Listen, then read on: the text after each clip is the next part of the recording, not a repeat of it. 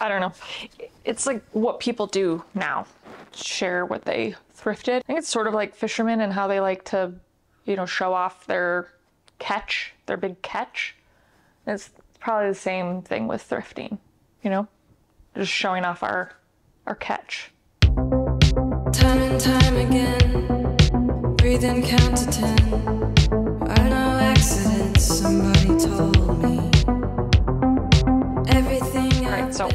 thrifting. Always have. All of my favorite thrifted pieces from 2024 are from The Real Real. Uh, believe it or not, this is not a sponsored video, but um, it sort of feels like it. Just like fishing, it's quite rewarding when you when you get the big one, when you reel in a big one. So that's what I'm sharing with today. Are my are my big ones? Are my are my big fish? If you are interested in checking out Re- the Real Real, like I said, it's not sponsored, but I do have an affiliate link down below. So if you go to that and make your purchases through that link, it supports me and my channel. So I thank you very much.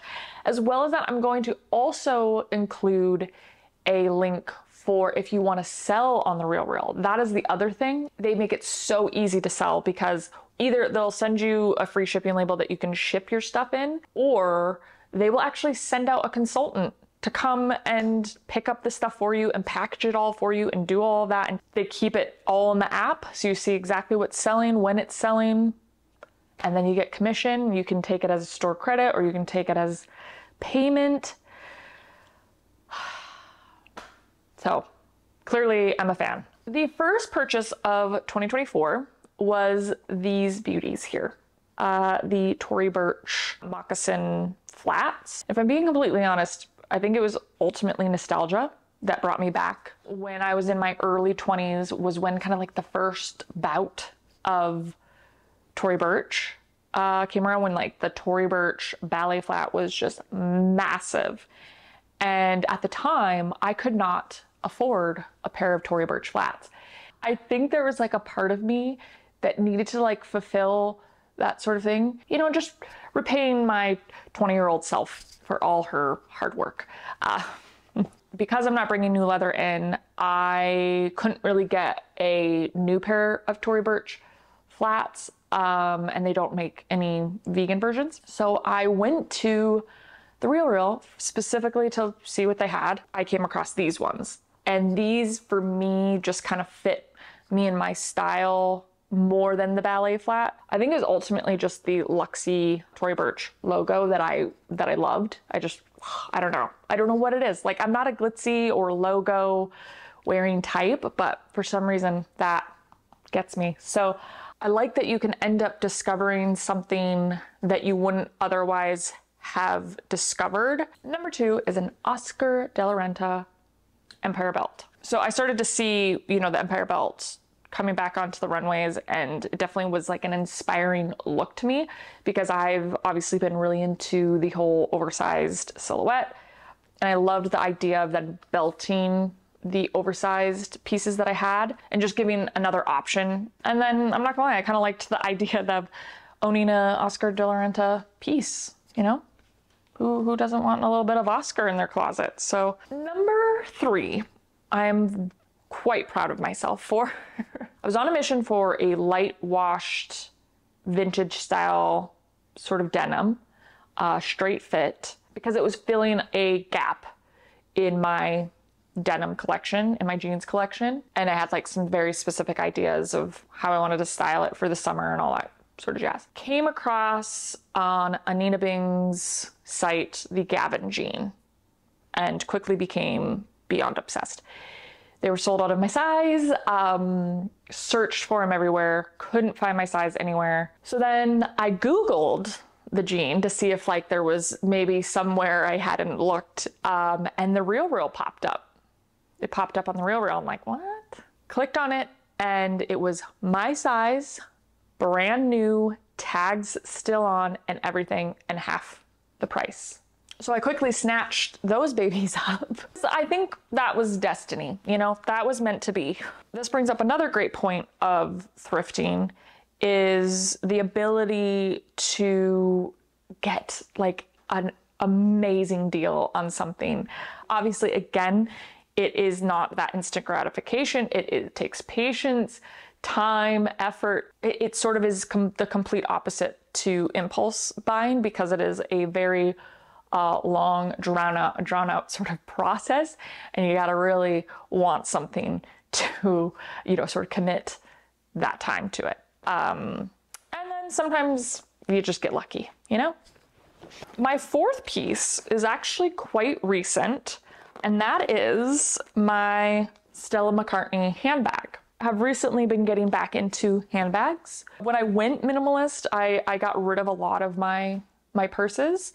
I think that then what I realized was not having an elegant handbag was sort of a missed opportunity because I suddenly realized how much an elegant classic handbag could refine a look, especially a casual look.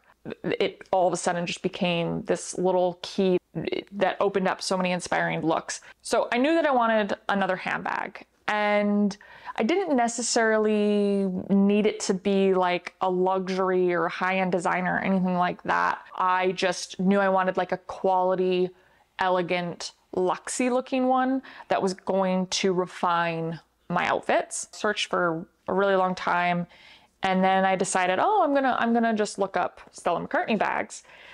Most of them were still way way out of my budget. Again, right time, right place. Came across this one and it was like an absolute steal of a deal because there's all these little nicks uh, in the uh, vegan leather. That's the beauty of me, my preferences with my accessories and my clothing pieces is I love a bit of wear and tear in my pieces because I love that. I think that just shows like a bit of character, um, a bit of grit. It's almost like, you know, like I said, like a fine patina. I love that it's quiet luxury, that you don't know that it's a Stella McCartney bag. Um, the only little uh, logo is on on this the strap here, like it's imprinted there. I've fit a lot of things. Uh, let's see what I have in here currently. I, it's very full, so I don't know what. I, okay, sunglass case, of course. Wallet, uh, two little mini baby books. You know, chapstick, a Hot Wheels car. You know, who knew this was going to turn into uh, what's in my bag video? Another Hot Wheels car. The twins absolutely love Hot Wheels. Some made good Star Puffed crackers. Uh, another Hot Wheels car. Some Merit lip gloss, hand lotion, keys, some paper from school, you know, conferences, school conferences, and a pen. Yeah, and I still have plenty of room in there. So, yeah, that's that's what I'm after. Dual purpose. Style and function. Another little obsessive detail that got me really excited about this is the canvas, little pop of canvas here, uh, because now I have a handbag that ties in with my cream high top Tretorn sneakers. You know, all about that tie in. All right, number five is my most recent and the one I'm probably the most giddy about because it is the one I've been searching for the longest. That is my Marni Chelsea boots. Yeah. So, big fan of Marni. Haven't been after these specific ones, but I've been on the hunt or the search for another pair of Chelsea boots.